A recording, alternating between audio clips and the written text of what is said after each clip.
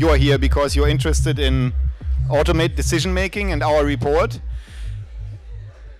And I'll keep rambling for 30 more seconds for people to finally decide to come in. Ah, closing the door is always a good idea. It makes people realize that there's something happening that they don't want to miss. Ah, okay. Seems to be working. Um, we need to use the microphones because the session is recorded. It's a little um, I don't know, preposterous to stand here with a microphone in a seminar room. Um, but anyway, and uh, also I was told that uh, if you have questions afterwards, and we'll allow lots of time for questions, I see that there are some people who were at the at the Commission, uh, at the uh, European Parliament event this morning, and we didn't have any time for questions because everyone went over. But anyway, we'll have ample time for questions afterwards. The problem is that um, to record them well, you would also have to come here. We don't have a, um, a wireless mic. Uh, or otherwise, we'll just try to re repeat the questions, okay? So just as a um, note on um, housekeeping. My name is Matthias Spielkamp. I'm the executive director of uh, Algorithm Watch and the editor of the report Automating Society, taking stock of automate decision making in the European Union. This is Brigitte Alfter. She'll say a couple of words about herself in a second. I would also like to point out that Ralf Müller-Eiselt is here. He's uh, hands up. Uh, he's with uh, Bertelsmann Stiftung. Um, we collaborated with them um, on this report. Uh, so the, it says that, I have to look it up, a report by Algorithm Watch in cooperation with Bertelsmann, Bertelsmann Stiftung, supported by the Open Society Foundations. And Becky is also here, who is our support at Open Society Foundations. So um, we'll uh, um, present some um, results in a minute, and who's also here is uh, Christina, our executive advisor at Algorithm Watch and also the author of the European chapter that's in the report and partly the German chapter. And Mark, um, who's uh, doing all our outreach work and much more than that. And uh, he's probably taking some pictures here this afternoon uh, to put them on Twitter. And now I hand over to Brigitte. Quickly, I mean, just for introductions well, my name is Brigitte Alfter, as you already kindly introduced. I've been coordinating the team of journalists and academics who did the research. And so I will tell a little bit about the work process afterwards, because we think that the work process was important to make this a genuinely European report. So it's not just one researcher diving deeply into the entire European overview, it was actually a European team. But over to Matthias to some of the results first. Yes, um, I, I, present some of the results uh, to those of you who were at the EP this morning. This is going to be a little boring because I didn't do another presentation for this event here. Um, so what about Algorithm Watch, what is it? We are an NGO. We've been, um, we started as an initiative uh, three years ago, then turned into a real organization in the sense that, you know, we uh, became um, um, incorporated under German law. And since um, October of 2017, we also have funding, meaning that a year ago, basically, we started building our organization in the sense that we were able to hire people and so on and so forth. So it seems a long time, but uh, the time that we've had to actually make an impact is uh, not so long, and this is also why um, I'm really pleased, and we at Algorithm Watch are really pleased that we were able to put together this project here because we always said that we are an internationally minded NGO based in Berlin, um, but we don't want to focus our work on uh, Germany alone. We never had that intention, and this was the first time we really had this opportunity to take this uh, outside of Germany. So um, we are a non-profit organization and we say that we have, our aim is to evaluate um, and shed light on algorithmic decision-making processes or automate decision-making processes that have a relevance to society, not just any automation process because there are millions and millions. Meaning in that case that they are either used either to, to predict or prescribe human action or to assist um, or um, uh, make decisions automatically. And uh, it, will be interesting if, if you're interested in that discussion because we put a lot of uh, thought into that also when we designed the report um, to talk about this definition because it's contested. I mean, any let, let's say any de um, definition of uh, automated decision making is contested right now, and uh, it's it's always interesting to discuss this with uh, experts in the field. Um, what does it mean that we watch? I mean, these are the four fields that we defined in our mission statement. We watch, we explain, we network, and we engage. Watching is uh, uh, partly what we did in the report. We find examples of where um, automated decision making is employed, uh, but also what kinds of discussions are surrounding it. They can be discussions by government committees or commissions, but there can also, of course, be discussions by NGOs and others. And we explain, trying to um, shed some light on what is it actually that we are talking about and where and how do these examples work uh, together with our colleagues from the Open Knowledge Foundation. And Walter is here. If you have any questions about that, raise your hand, Walter. Walter is one of our collaborators uh, from the Open Knowledge Foundation for a project that we did last year. It was called Open Schufa, where we um, investigated the credit scoring algorithm behind the most uh, powerful um, credit scoring company in Germany, which is called Schufa. That's why the project is called Open Schufa. So we all also try to do things like reverse engineering, but only in very specific cases because that's usually a ton of work and uh, you need uh, um, many resources dedicated to something like that and you need systems that you can actually reverse engineer and come up with ideas how to do that.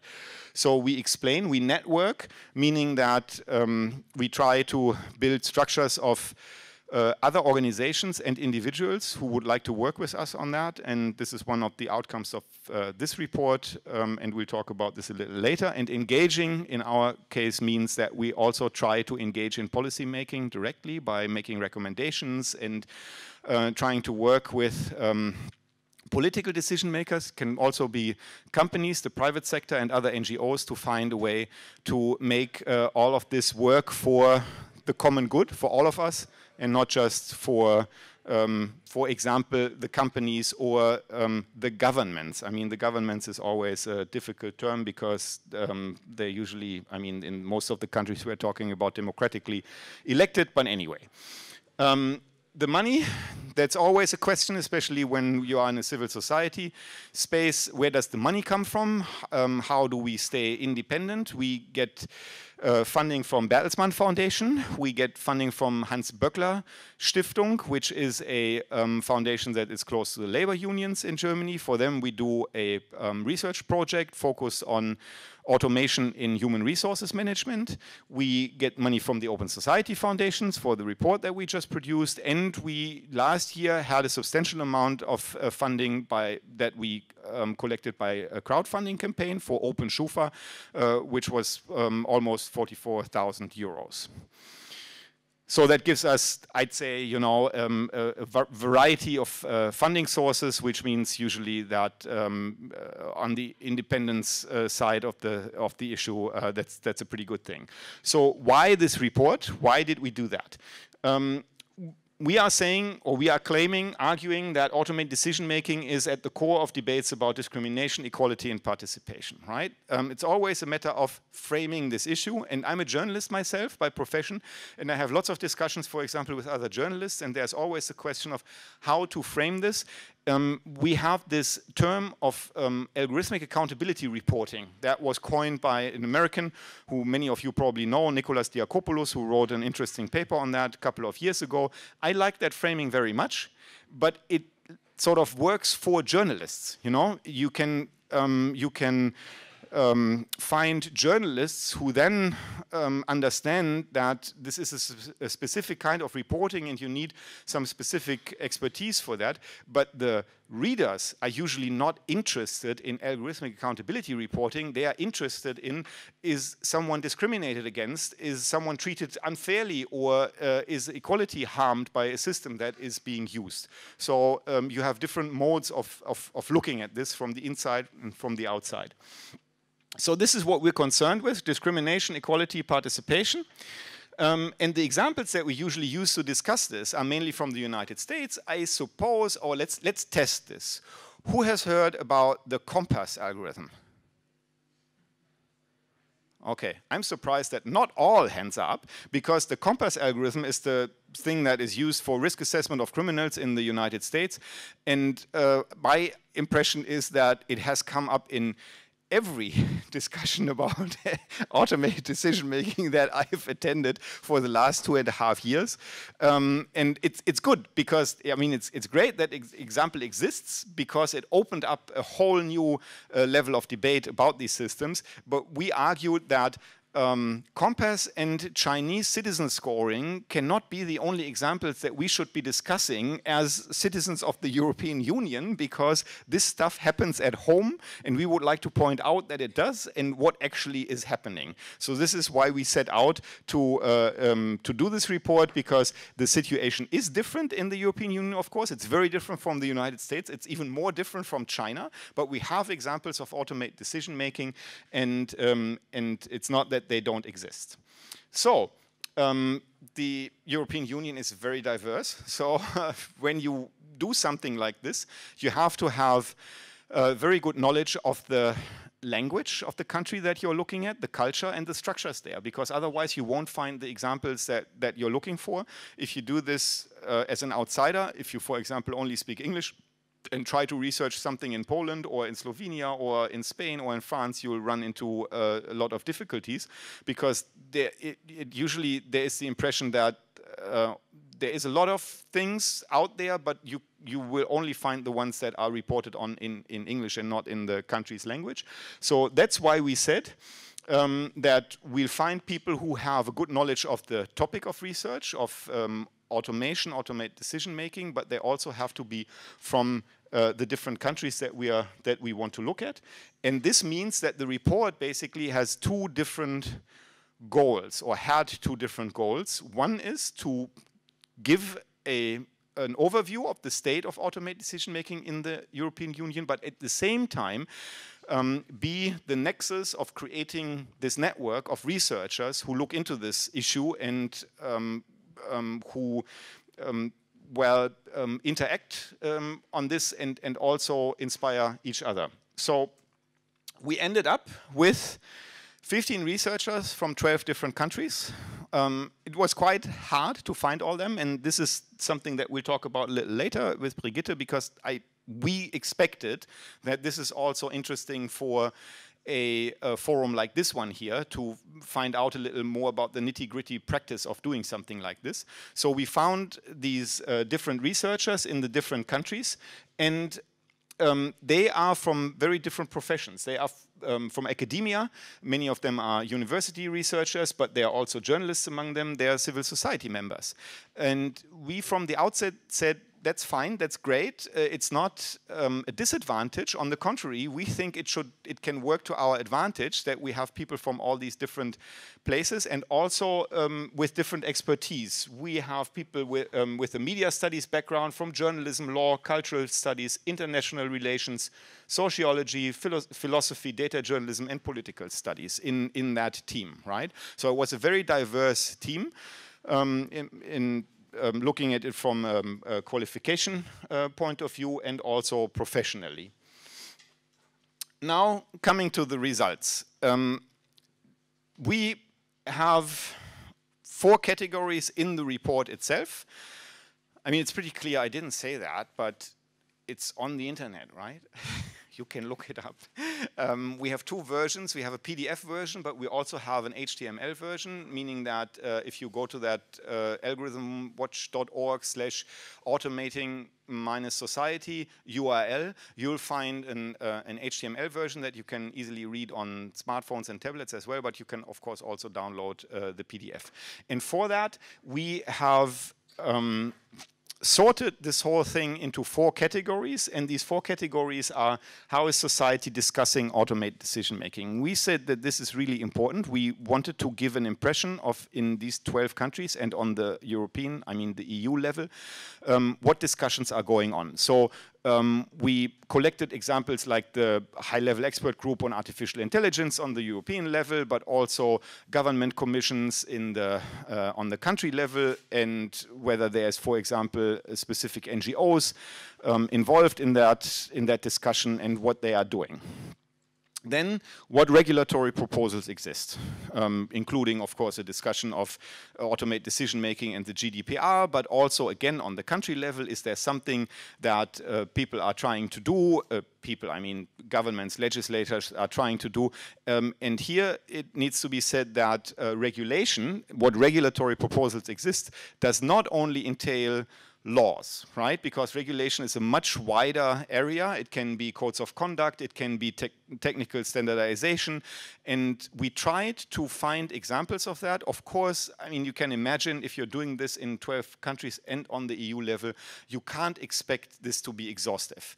Um, I'm certain that we have less um, cases in all of these chapters than exist, right? But at least we were very successful in pointing out that there is something going on in all of these categories in all of the countries, right? Um, so this does make uh, a point from our perspective. What oversight institutions and mechanisms are in place? We separated that from regulation because oversight is something different, and uh, I think this is one of the um, of the more interesting um, results of the report that there are very different approaches to oversight. We had this uh, interesting example in Finland where there was um, a credit scoring um, decision being made and someone contested it and it went to the ombudsman for discrimination in Finland and he um, after a lot of deliberation, gave it to a tribunal, which is different from a court. It's important. It's not a court, but it's a um, it's it's something like uh, you know uh, a, on, a, on a level underneath the court because you can contest their decisions. And the tribunal then, in the end, decided that the um, credit scoring model that the company used was discriminatory and threatened to um, 100,000 euro fine if they continued using it, right? So this is quite a statement by an oversight body. And in Germany, we had this, this example of uh, the Schufa, who um, now what's January, um, six months after the GDPR came into effect, uh, are still sending out um, information about the data th uh, that they collected on um, on the uh, on the people in their database that is not compliant with the GDPR, and the oversight institution um, waves their finger and says, "Please don't do that and change it." Right? So different approaches there, and uh, of course, and this maybe uh, the most interesting part to many people, what uh, automate decision-making systems are already in use in these different countries. And there we made sure that we collected examples not just from the private sector, but also from the public sector. So these examples, what came out of it. First of all, priorities differ widely in, uh, from country to country, which is to be expected. I still think it's good to find this evidence and to, to write it down because you can then start comparing things. Um, and let's, for example, look at research funding. We all know these um, numbers from the different countries. You know, Germany pledging to invest 3 billion euros in uh, artificial intelligence. And, you know, again, we're not talking about artificial intelligence, we're talking about automated decision making, but it's sometimes hard to distinguish. Um, but in Spain, for example, um, with a um, GDP of more than 1,400 billion US dollars, they have a program that is worth 4 million euros. It's called the uh, Activa Industri Industria 4.0 program. And they support 400 companies to advance their digital transformation and improve their competitiveness by adopting new enabling technologies, right? 4 million euros Ooh, for 400 companies. Wow. Um, in Sweden, on the other hand, there is one private foundation that gave 100 million euros to two universities, um, the Wallenberg Foundation, I mean, people from the Nordic countries and especially from Sweden, they of course know who they are. Um, they um, have a lot of money, the, which shows uh, the, by being able to pledge 100 million euros to develop machine learning, AI, and the mathematical apparatus behind them. So uh, there's quite a difference there. Um, we have political debates, and in the political debates, for example, in Germany and the UK, um, there are, in addition to a number of government and parliamentary commissions, also the data protection authorities who are weighing in, the business associ associations, and uh, many NGOs who already look into the consequences of automated decision making.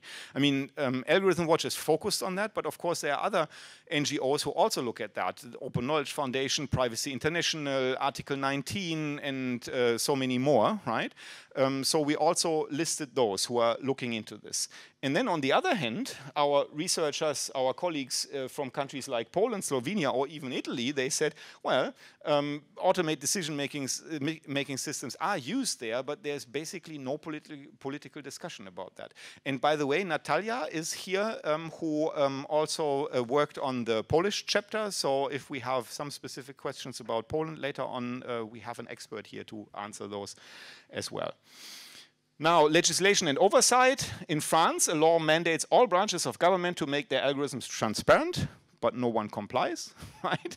Um, that was one of the uh, most interesting things that uh, I learned from the report. Um, and there are examples for this, examples in the sense that we know about algorithms in France, and, and if you try to find examples of um, any kind of information that is out there about them, you won't find anything. And uh, in Finland, I, I, already gave you that example. It's that uh, there was a very um, strict um, handling of a specific case with uh, the discrimination in uh, the alleged discrimination in credit scoring. So there's a wide range of approaches.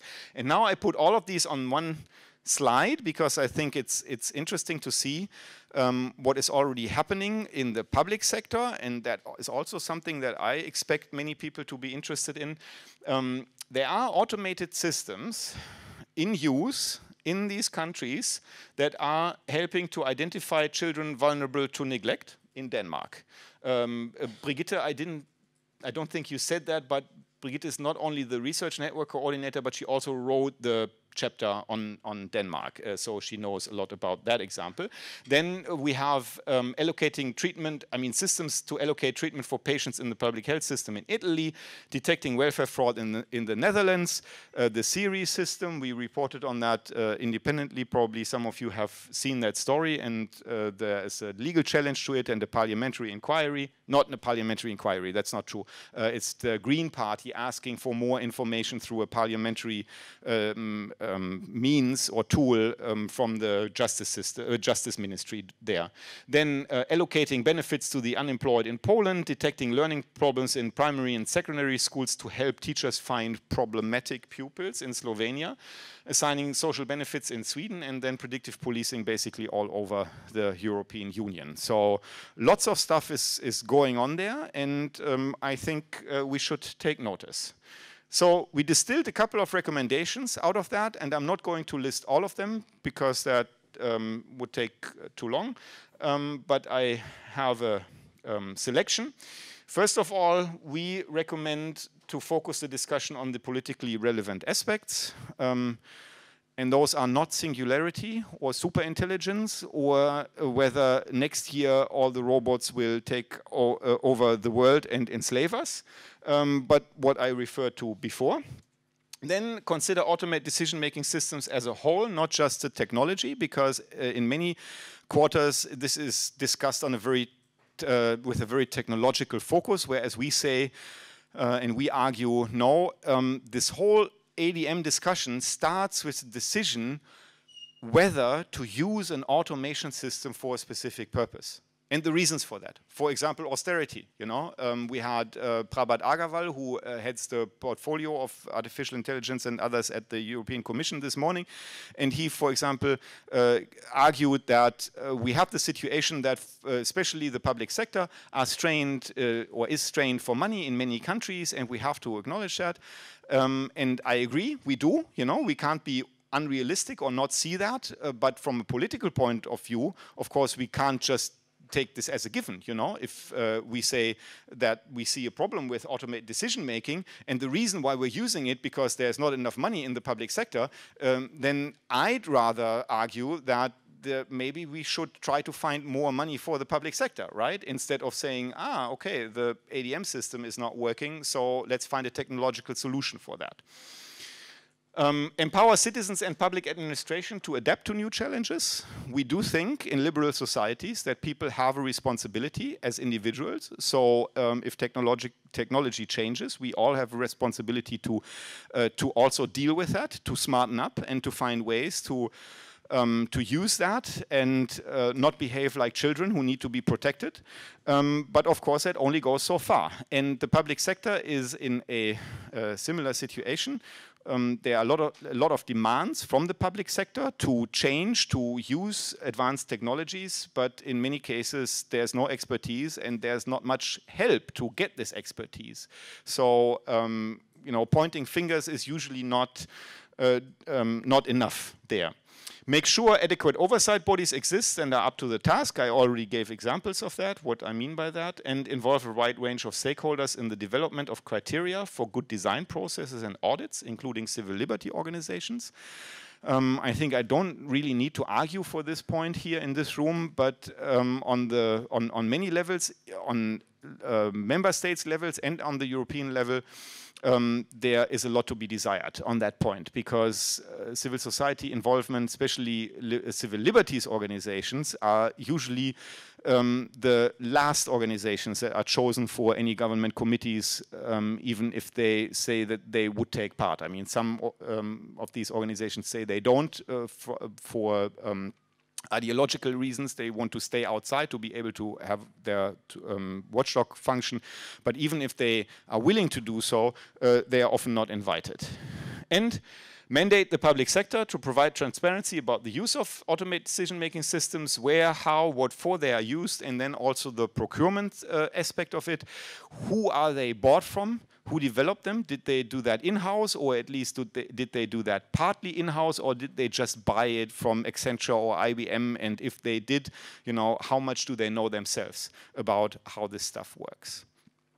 Okay, so that's it. Um, that was fast, I suppose, but um, also, um, as I promised, you know, we wanted to have lots of time for discussion afterwards. Um, and um, if there are any questions right away, please raise your hand. Otherwise, or not otherwise, but uh, also I would ask uh, Brigitte to weigh in on the on the networking uh, aspect of it. So, is there anyone who? Okay, we have a. Um, do you want to come to the front to take the mic? Because otherwise we can't hear you on the recording. Matthias, thank you very much for your excellent work in this field. There's two questions I have indeed, and one is, are you tackling the question of machine learning, especially in the concept of algorithmic accountability that I believe does expose specific problems? Have you, what have you done with this regard? And the other question is, um, if you um, if you look at decision making, would you also consider recommendation systems decision making? So um, all these nudges that we now face, is this already a decision? It's not like a government deciding you go this way, you go this way. Um, it's really just these nudges. Are these already decisions under your definitions? Okay, it's to be expected from you. Very hard questions. Um, I'll start with the last one first. Um, we say we. Um, I, I use that expression. We also include decision support systems. So that can be recommendation systems. It always depends on the case and how they work. I have to try to remember that, and probably Natalia, I think it was from the Polish uh, example, where we have a figure um, from one of the ministries. Christina, you're nodding. Can you remember it exactly? It, there's 1% of people who did not decide with that specific system. I can't remember now exactly what it was. Do you? Oh, it was the one that I used. Okay, so assigning benefits to, to the unemployed. So the system makes a recommendation, and, and uh, in 99% of the cases, this recommendation is then put into practice, right? Now, um, we can't make this question, is that a decision, to into a statistical question and saying, oh, it's 99%, so it's not a decision, because it may be that they looked at it and said, yeah, they're all fine, you know, and they use their autonomy and their, uh, you know, um, uh, rationale um, or rational arguments to find out about that. But of course, um, we need to look at it very closely to find out, can we still um, talk about decision? And I mean, I know we know each other personally, so I know you're a lawyer, and uh, because of that, um, you're aware of many of these aspects that uh, weigh in on that. For example, compliance. You know, if the structure of your company or your um, public sector organization is that is in is is set up in a way that you need to justify um, every time you decide differently than the system recommends, you know, that puts another level of uh, pressure on you um, and will most certainly lead to the fact that you are not going to contest the system's recommendation. So you, you already hear that. I can't even give an easy answer to that, but um, that's the answer that I can give. Again, we have to look at the individual cases. And when it comes to machine learning, um, are we looking at that? Yes, we are looking at that in an abstract fashion in the sense that we're saying um, many times the fact that there is machine learning employed is used as a as an argument for saying this system is a black box and we can't really know what is going on. And we say this is not the case. First of all, um, all of these um, systems, even if it is machine learning, are based on uh, programmed decisions um, that are coded into these systems. Um, of course, it can lead to unintended effects, or it, they may be intended, but they can't be explained easily. Um, there is technology that is being developed and is not really um, available right now to control for uh, what is happening there. But my our AlgorithmWatch's main argument here is that in many cases it doesn't really matter so much how this result came about. It matters whether the result is okay or not. And okay is a very broad uh, term here. It can it can be okay in the sense is it accurate? Is it fair? Is it discriminating? Is it uh, harming uh, equality or something else? And if that is the case, then uh, our position always is we don't really care, you know, how the system came to that decision or recommendation, but if the result is not okay, you'll have to do something about it. And you can't hide behind the fact that it's machine learning and uh, it's, it's probably non-deterministic in a sense.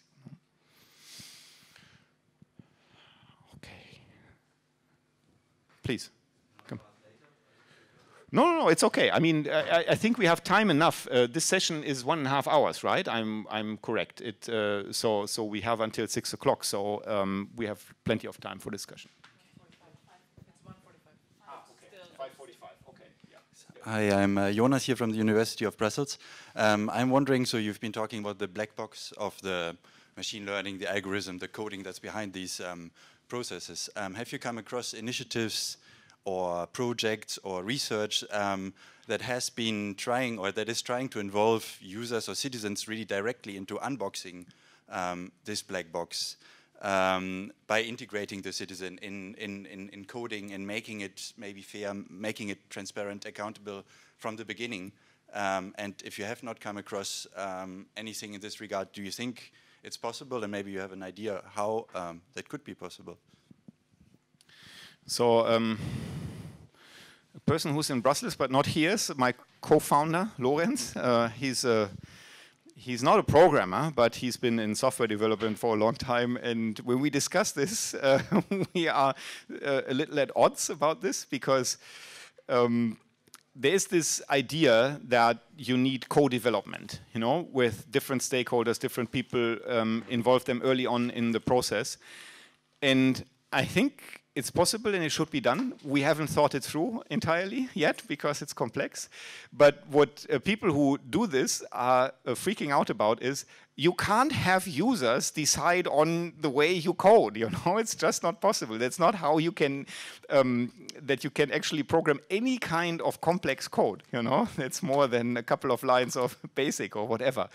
Um, and uh, the so. Um, to answer your first question, we have not come across a precise project like that in our research. We know, of course, about a couple of initiatives, um, not just in Germany, but in many other countries. Like, uh, I mean, the, OCA, uh, the Open Knowledge Foundation is involved in that as well, um, doing uh, hackathons and uh, trying to um, convene people to discuss these ideas and to come up with better ideas of how to do this. Um, and we've talked to a lot of companies already who are interested in applying um, a process of some of them call it ethical um, development of, um, of code, uh, others call it by a different name, um, to apply that in their own company and to also invite outsiders to give them some uh, advice or feedback. Uh, so this is happening already, but um, there is no, um, in that sense, precise or concrete project that I could name where there, for example, is a company that asks uh, users to be involved in, in uh, development of uh, these systems.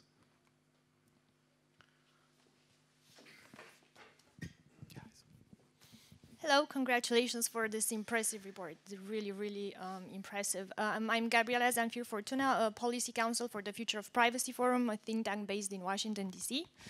Um, I have two questions. Uh, one is very brief. Have you encountered um, any of the projects that's solely automated um, without any human involvement?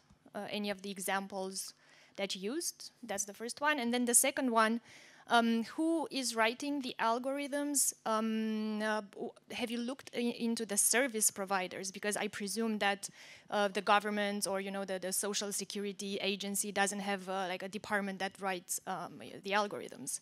Uh, have you looked a bit into that? Uh, who are the service providers? Are they European? Are they based elsewhere? Um, what type of and then yeah, related, you know, how are those contracts, um, uh, those relationships um, over in uh, oversight? What's the oversight over um, mm -hmm. those? Thank you. Okay, again, I'll take the last question first that's a tremendously interesting um, aspect of it, and I'm, as a journalist, are specifically interested in that. But no, the answer for this report is unfortunately no, we did not, because we didn't have resources for that. Because finding out this kind of stuff is usually a lot of work, especially in uh, most of the European countries who have a completely different uh, history and standard of uh, freedom of information than the United States, not the Nordic countries. In the Nordic countries, you um, probably have encountered uh, um, less obstacles for that. Uh, and we should look into that because, as I said, procurement, this whole issue of uh, who produces what for whom, um, where does the public sector buy these solutions is uh, at the heart of all of this. And there are other initiatives that are looking at that, um, uh, journalist initiatives, for example, to, to identify that and find out. But unfortunately for the report, we didn't have uh, the means to, to do that. Um, we have this one very interesting example that I mentioned in the introduction, or we mentioned in the introduction. It's about that company in Finland that looks at individuals' emails. And for example, what they are doing is they they are analyzing it not with um, the software. I mean, they're a private company anyway. They're not a public sector. But even they don't do it with their own software, but they use IBM Watson for it, right? So uh, they don't even really know what's going on because they just use a third-party system to do the analysis that uh, basically they then offer to their clients. Um, so that, that, that is a, at least um, a related example. And then the, the first question, um, and now I have to again dig in my uh, memory. The um, municipality of Trelleborg in Sweden, they say that they have fully automated some um, decisions for allocating uh, social benefits. And there is a discussion about this in Sweden because, of course, uh, um, in Sweden the GDPR applies as well. So there is this debate that you're probably all familiar with. Um, when is a decision really automated and um, and how do you deal with that? And the word is still out on that. But they said, you know, that's what our Swedish colleagues told us and what they researched. They said that here um, some decisions are fully automated and they are not uh, looked at by any uh, person anymore. Right, but that's the only example that I can remember off the top of my head, Christina. Hmm? Ah, the traffic control. Yeah, I mean that that is uh, that there we have this this question of uh, is that automate decision making in the sense that we are. I mean in the in the um, closer sense or in the narrower sense that we're discussing in France, there is a system of uh, automated. Um, uh, speeding ticket management. So you automatically get a speeding ticket from a radar, and um, and no human being ever looks at this and decides is that appropriate or not. You know. Okay, so we had one question here, so so that you know that I saw all of you. We had one question here in the first row, then we had one in the last row, and then we have one over here on the left-hand side.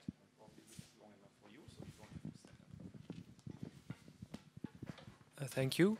Um, I have a, a question about uh, the one of the recommendations uh, that you give is uh, to empower the individual, and particular the way that you said it. We're in liberal society, so people shouldn't be be like children, and I'm a bit skeptic in general about this argument. Um, my own research is into the right of access to personal data, which is very explicitly proposed as a as a measure to give empowerment to to citizens.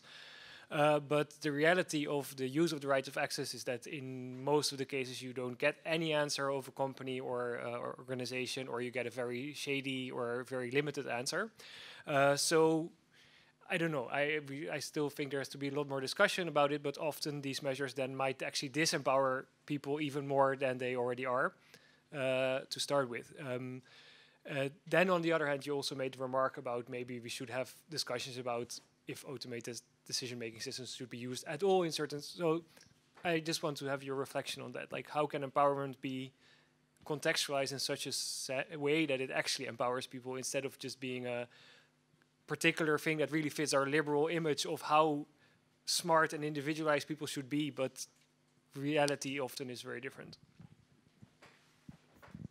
Yeah, thank you very much for that comment. I, um, this is also something that we discuss frequently because we are not of this faction who says, yeah, um, you know, you just need to understand what is going on and then everything is fine and you can make your uh, free, free choice because that is not true. We all know that. We know that is true when it comes to uh, privacy and data protection and we also know that is true when it comes to automated systems.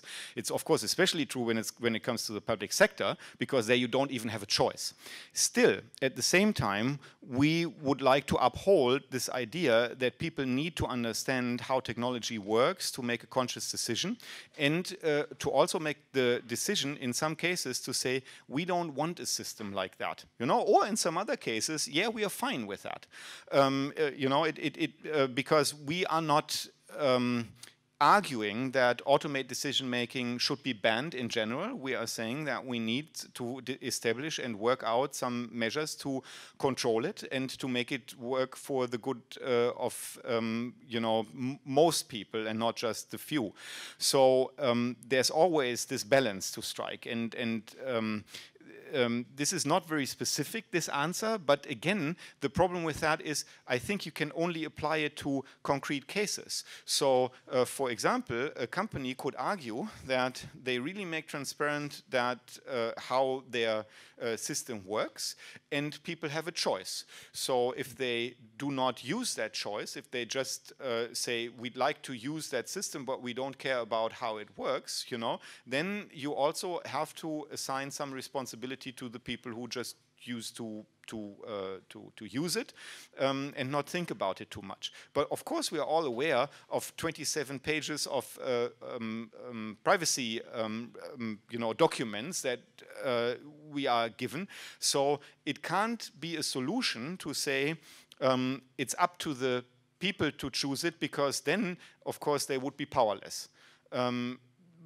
we don't know what the right balance is, and I don't think there's a correct balance in general. Um, but again, we need to look at it on a case-by-case -case basis. I mean, it's, it's it sounds a little frustrating, but uh, it's the only answer I have for that.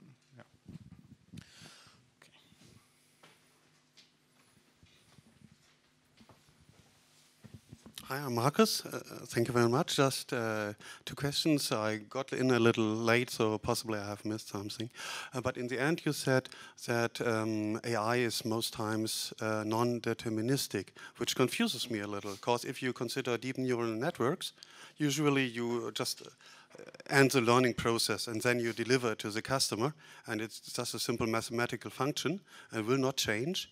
And if you have, for example, a random forest, yeah, it is random by design. But if you have a decision tree or a set of decision trees, you can really display to the customer why the decision was made through the tree. So um, I, I, don't see this, uh, if, if, somebody sa uh, says as excuse, it's non-deterministic, well, uh, I d I don't see a reason for this excuse. uh, really, because most time I think it is. Uh, second point is, um, well, uh, Bettina Berendt, Leuven, uh, once said uh, that parents have to look after their children. Uh, she, meant with it that um, if um, a neural network or an AI in general uh, gets discriminating, it's uh, due to what it has learned. And you talked about this, oh, it's okay or not. So in the AI sector, most times I hear it's okay if the neural network um, just displays the ground truth. Yeah, so if the ground truth is discriminating, for most AI people, it's okay. So where will, will, will you see the, uh, the, the, difference? What, what should be changed according to what you think? Okay, thanks for giving me that opportunity to correct myself. I hope, I mean, I, I thought I said there are very few cases where you can argue that you can't um, explain why a system is coming to a certain um, conclusion.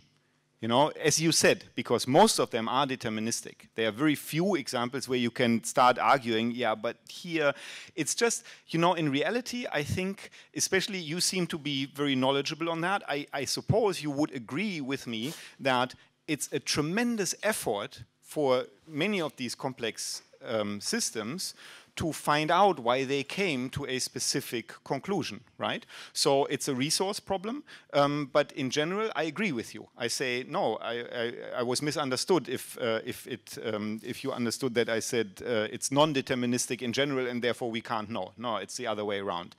Um, and uh, the, the other remark is, I'm you know, we are fed up with that if uh, people say, yeah, you know, um, that's live and we just uh, use our um, machine learning systems to look at these data and then that's it.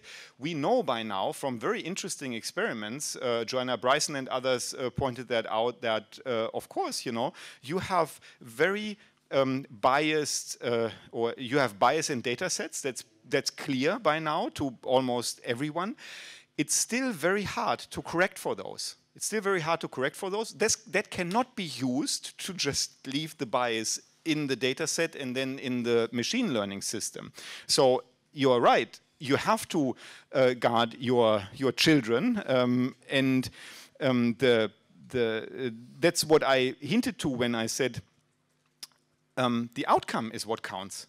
We can't accept as an no, uh, I wouldn't call it an excuse right away. You can't accept it as a ex ex an explanation that okay, so uh, there was bias in the data set and there's bias in machine learning, and then the system is biased and that's all okay. No, it's of course not okay. And if you can't find a way to change that, then you can't use the system or you are punished for this. I mean, if you are if someone finds out and there are mechanisms for that there are oversight mechanisms and all of that so this is much of this is is, is missing and i'd like to give one example that many probably also here in the room know, which I find interesting, is um, uh, Amazon um, started developing that system for recruiting. And um, it was a long effort. I think when it's true what I read, um, they started developing this in 2015. And last year they ditched it because they found out that it discriminates against women, you know. Um, but it was Amazon themselves who said we were unable to correct for that, and because we were unable to correct for that, we stopped using the system. It was not some journalistic investigation that uncovered it, and then because of public pressure, they stopped that. You know, there might be a spin in there because, you know, they leaked this information to Reuters, and of course you have to um, um, think uh, what was the purpose or what was the strategy behind that because they could have just kept it to themselves. So probably they wanted that, um, that um, attention. Uh, but uh, it hasn't been contested so far that it was them who developed it, who were not able to correct for this problem and who then said, uh, we are not continue using this. Um, and what I find very interesting about this, first of all, there was a self-correction because they said this is not the outcome that we want. Um, but on the other hand, you know, Amazon is a data company, you know, with a retail arm, and they don't seem to be able to solve that. You know that they have because the reason that they gave was they, that they have a highly biased data set that they trained the system on.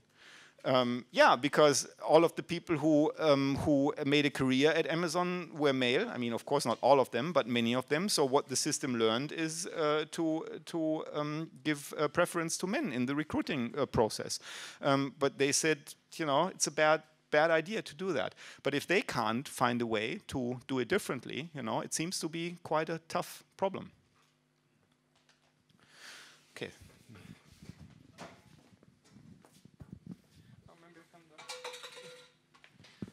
So thank you very much. I find it very, very interesting. I've been, um, I've been researching on um, automated decision making in European Union member states in the last months, but from the legislative point of view. So how GDPR implementation laws implemented Article 22, and just nine member states did it, and they do not totally overlap with yours. Uh, but they are not obliged because Article 22 already does a lot of things. So two questions. One was related to what you were referring briefly about France, because actually yeah, it's true that even before the GDPR in 2016, they had this code of relationship between public and uh, administration, and they said that actually, apart from trade secret, they should release codes. So uh, you, you, say that uh, they actually don't do that. Uh, why? They use the trade secret um, argument, or probably it's just something because uh, public administration has a list of codes but probably uh, other entities are not doing that. And the other point, building on Rene's uh, remark, was uh, are you also considering to or have you already seen how safeguards are respected for example right to contestation in some kind or how this how we can make useful contestation so i don't know if some companies or some examples had this uh, accountability not only on explanation but also on contestation for example. Thank you. Unfortunately, the answer to the second question is very short no we haven't, and it's a very interesting aspect. And uh, I'd be curious to hear more about that. And I would be happy if someone did a study on that. You know how this is uh, not just implemented in law, but also how is it used in practice, because that's very important. Um, do people make use of their rights, and if they do so, what happens? Um, the France example, and you know I can't, I, I, don't speak French, and I didn't research that myself. So uh, what is um, what was told to me by my colleague Nicola, who uh, wrote the France uh, chapter, is that there's basically no public pressure in France. The um, public sector is obliged to uh, publish that, to give out information about that, and they don't, and no one holds them accountable. I mean, the press doesn't, and uh, individual people don't. And uh, if they don't, I mean, the courts will not become active. If there's no challenge, then nothing happens. So basically, um, th there seems to be a situation, from what I understand, is that we have a uh, quite a good legislation um, but it's meaningless because no one is making use of it. No one, I mean, you still need to fight for your rights, and apparently no one in France does on that account, you know. There are some other people fighting for their rights all the time, but um, not when it comes to automate decision making, apparently. Okay, we have no questions for now, so please, Brigitte.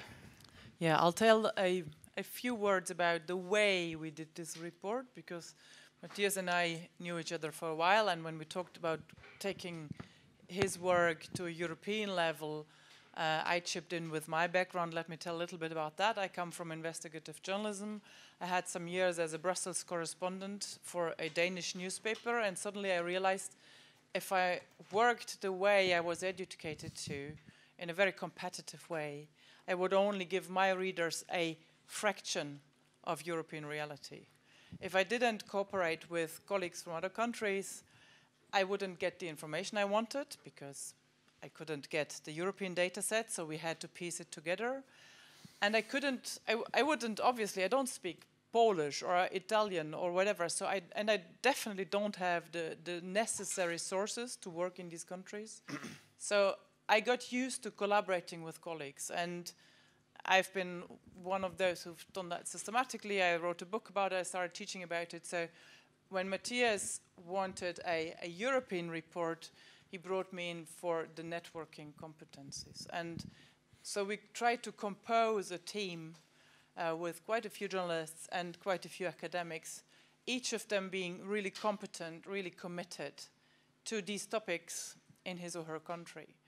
And then I coordinated the team, which is, it's gritty gritty, as you said. We met once physically and discussed not least the terminology, the definitions, so what is automated decision making. And this discussion, of course, uh, is meaningful in terms of trying to carve out what is it, but it's also meaningful in getting to know each other and see each other's background and get to trust each other, which is important in teamwork.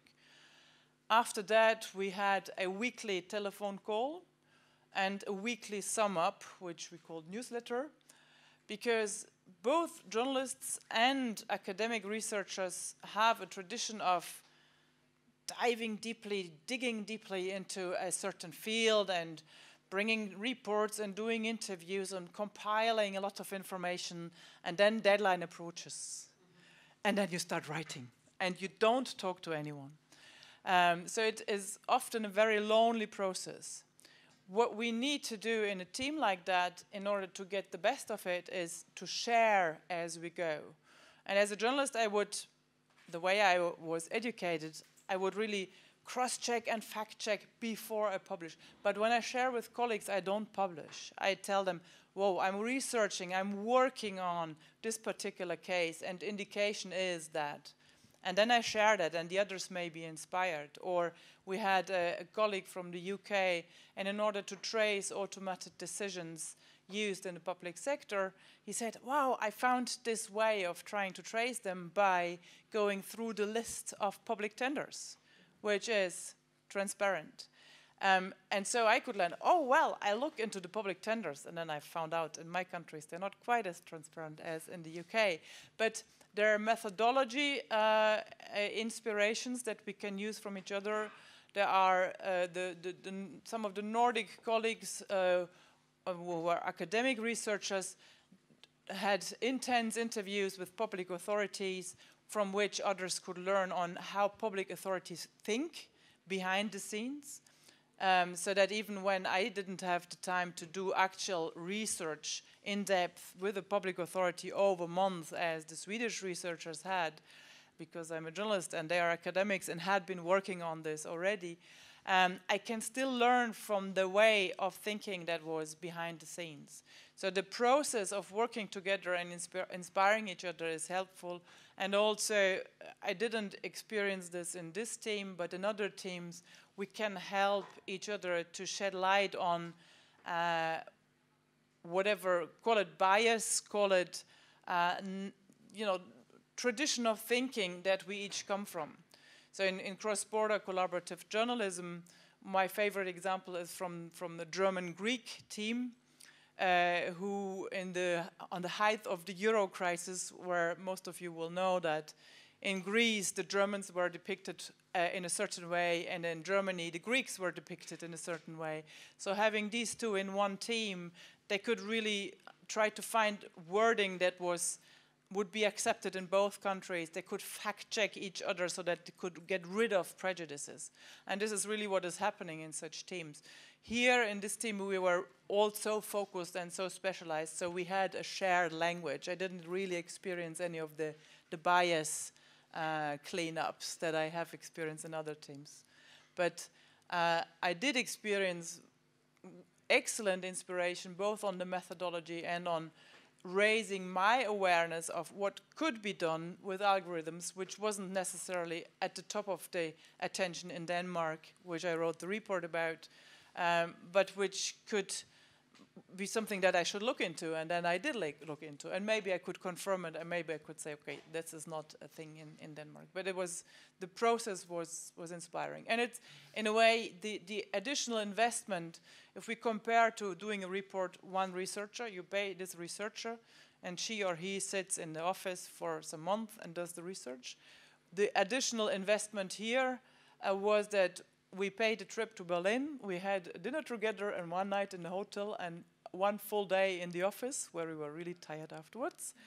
Um, and then we had weekly telephone call which functions along the the lines of uh, coordinating uh, teams of, of coders. It's called agile project management, which we try to learn from.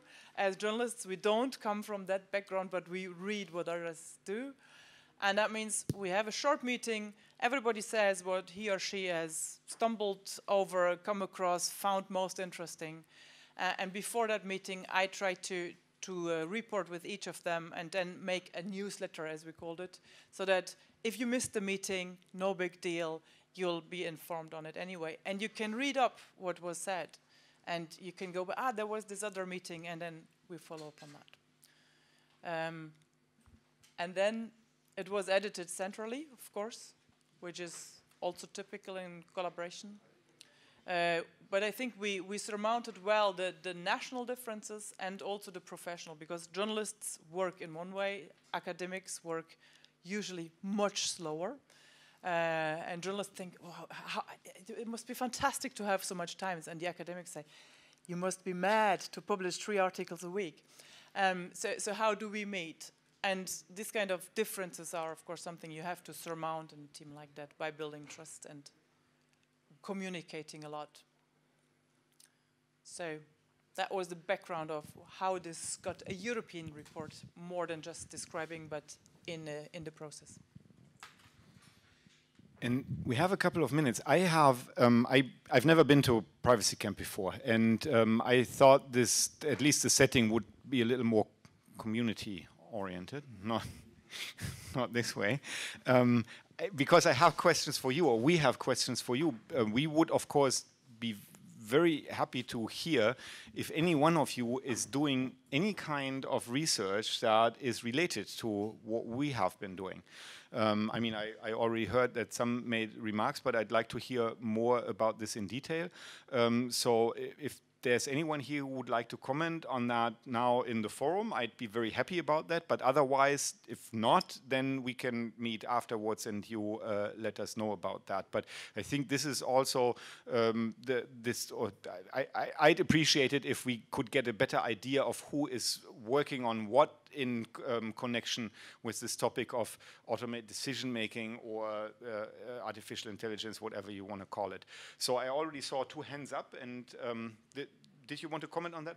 Okay, but you did, uh, so you'll probably give us a little more detail. And I, as I said, I'd be happy if uh, someone else would uh, also let us know what they're doing if it is related. Well, we, we are trying to get uh, into this algorithmic transparency which is quite very, very difficult. Uh, we have uh, sometimes uh, nice audios from the FU Berlin who are really uh, good at those things. For, for, example, they had a neural network for picture classification for a big picture database, and they just uh, let run FisherNet and one other deep neural network run and uh, figure out with almost the same precision in the end and the same uh, F1 classifier in the end, so it were almost the same quality. And uh, uh, later on, when they try to figure out uh, why the neuron, the, the FisherNet um, decided that the picture was from a horse, that's an example which is uh, now, uh, I, I, don't know if you have it, yeah, yeah. Uh, uh, just because there was a label on the pictures from the horse, because it was from an uh, archive of horses, and the FisherNet just says uh, identifies this label, and the deep neural network just says identified, hey, this is the shape of a horse, it's the back tail of a horse, and, and so on. And uh, we had some uh, other examples where, for example, it was very difficult to find out its only picture classification, yeah, whether it's a ship or an island for example, because most parts are blue and uh, some are water and so on. And uh, so, so, in picture classification, I think we are uh, already one or two steps ahead. Um, in, in, the case of this uh, random forests, it's quite difficult because if you have uh, really huge decision trees, you can um, see all the parameters and where the um, uh, where the uh, tree splits and really to get a logical view out of it is, is uh, you can do it for every case, but that is that is really difficult. And uh, Just well, let me ask you, because you said we, but you didn't really say who is we in that. Who who are you? I mean, as a person, but also who's the team that you're working with? Uh, well, I'm working for a company who is uh, providing, let's say, uh, IT security and GDPR services for the customers, uh, mostly finance business, automotive business, and others. And we are, um, let's say, in a loose relation with the University of uh, Hanover with L3S, and uh, which is uh, le- led by a professor who is uh, very into privacy. I on my own researched uh, privacy from 2012 to 2016 at the L3S, and I still get all those things. Uh, in, in Germany, we are, um, or, the guys from the L3S and the guys from uh, uh, the law departments are st- starting Rails. If you just look at ai-laws.org, we have robotics and AI law society, which uh, will meet in Berlin in a few months, and uh, they will just it's, it's for guys related to law. So you have to um, be able to keep awake uh, listening to lawyers for one day if you want to attend it. Um, but there are those um, professors from the AI department there too, and uh, they want to just uh, move it to a European level too and just want to find because there are other universities in uh, Austria and uh, Switzerland and so uh, already participating. And I think it's a very good approach to start with ethics, start with law, and then uh, consider what is really feasible, what what, ca- what can be done right now, and uh, what are the parts in algorithmic transparency we can have in two years or four years for industry. Okay, wonderful. Thank you very much. Rails is in the report as well. So uh, if you want to look it up, uh, you'll find the link there in the in the report. Um, and it's an interesting example of, um, as it was just said, um, a specific, um, you know, um, branch. Um, in this case, uh, legal professionals who are saying that we need to also look at this more closely and organize or create uh, it, an, an own organization for that. Okay, anyone else?